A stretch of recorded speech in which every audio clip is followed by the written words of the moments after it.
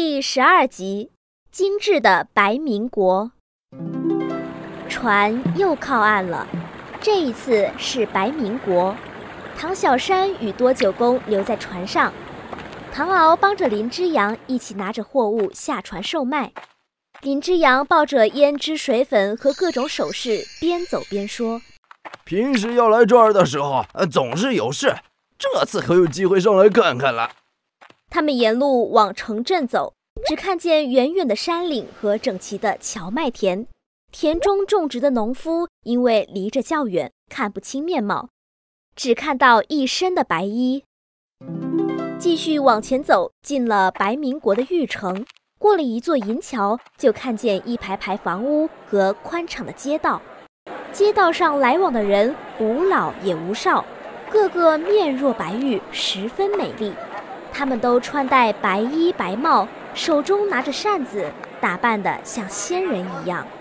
唐敖不禁夸赞道：“如此美貌，再配上衣着穿戴，好像仙人下凡一般。”再看街道两边开的饭店、酒肆、银局、香店、服饰等等，绫罗绸缎和珠宝玉石成堆，衣冠鞋袜陈列无数。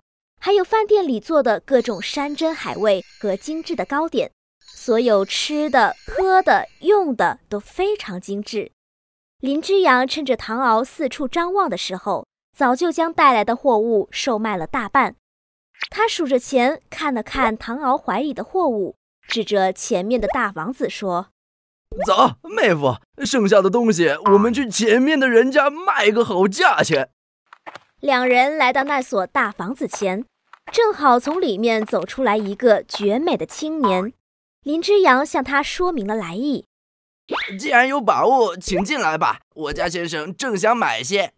三人正要往里走，唐敖突然看见大门上贴着“学塾”二字，心中顿时一惊。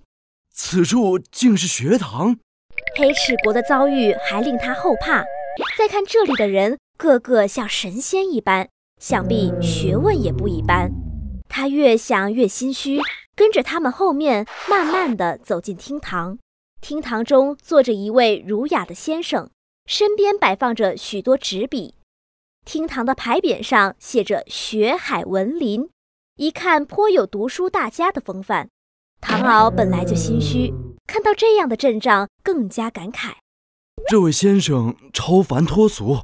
啊，自愧不如，自愧不如。他说着，又看了看自己手中捧的珠宝，心里觉得自己俗气极了，就躲在林之阳身后不肯上前。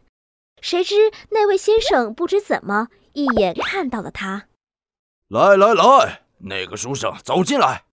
唐敖吃了一惊，我躲在后面也没有露出什么，这位先生怎么就知道我是个书生？看你的穿着打扮，一定是个读书人。你上前来，我来考考你。这么一听，唐敖立刻脑门冒汗。在黑市国，他以读书人自居，却被新娘子问得快要答不出来。如今到了这样风貌精致的国度，只怕这里的人学问更好。想到这里，他连忙摇头：“我只是早年读过书，呃，不敢，不敢。”唐敖在这边谦虚。林之阳可不服了，我妹夫可是考取了功名的。这话一说，教书先生立刻来了精神，可把唐敖吓得步步后退。他们在白民国还会遭遇什么呢？